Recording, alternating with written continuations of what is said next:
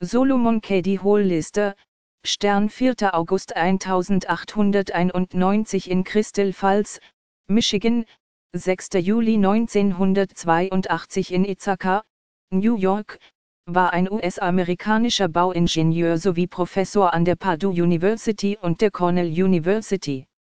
Solomon Hollister studierte am State College of Washington und der University of Wisconsin in Madison mit dem Bachelorabschluss 1916. Zuvor hatte er schon ab 1910 als Ingenieur in Washington und Oregon gearbeitet. Zu seinen Lehrern gehörten Frederick E. Turneaure, 1866 bis 1955, und E. R. Maurer, 1869 bis 1948, die das erste US-amerikanische Lehrbuch über Eisen- und Stahlbeton veröffentlichten. Hollister selbst wurde nach dem Handbuch für Eisenbetonbau von Fritz von Empergier unterrichtet und verfolgte in seiner Abschlussarbeit Ideen von Wilhelm Ritter. Er erhielt erst 1932 einen Diplomabschluss an der University of Wisconsin.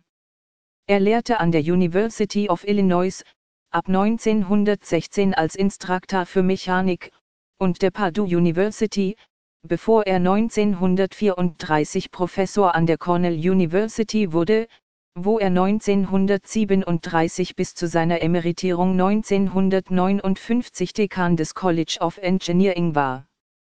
Dort war er maßgeblich an der Sammlung von Spende für viele der Gebäude der Universität verantwortlich, von denen eines nach ihm benannt wurde. Er setzte sich öffentlichkeitswirksam für eine intensivere Ingenieursausbildung ein, um, wie man im Kalten Krieg vermutete, einen Vorsprung der Sowjetunion einzuholen. Er war häufig in verschiedenen Positionen Regierungsberater, so 1953 bis 1955 in einem Organisationskomitee des ehemaligen US-Präsidenten Herbert Hoover, und drängte 1953 als Mitglied des Defense Committee of Business and Scientific Leaders zur nuklearen Aufrüstung und dem Aufbau einer besseren Luftverteidigung. Hollister befasste sich sowohl mit Stahlbau als auch mit Massivbau und Stahlbeton und baute schon im Ersten Weltkrieg die ersten Betonschiffe für die US Navy. Im Zweiten Weltkrieg wurde das in größerem Umfang wieder aufgenommen, wobei Hollister Berater des Programms war.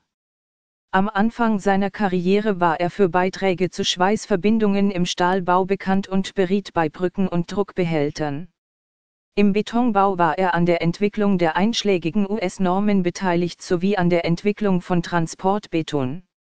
1928 erhielt er die Weisan Medal des American Concrete Institute für den Entwurf einer Brücke in Chester, Pennsylvania.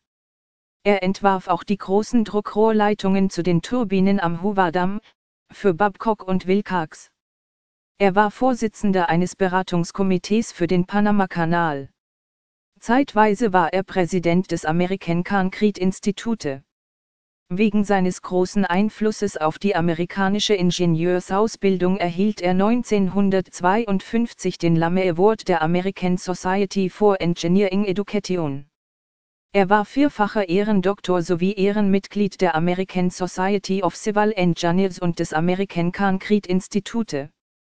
1919 heiratete er Ada Garber und hatte mit ihr drei Kinder. 1980 fand ein Kolloquium zu seinen Ehren an der Princeton University statt.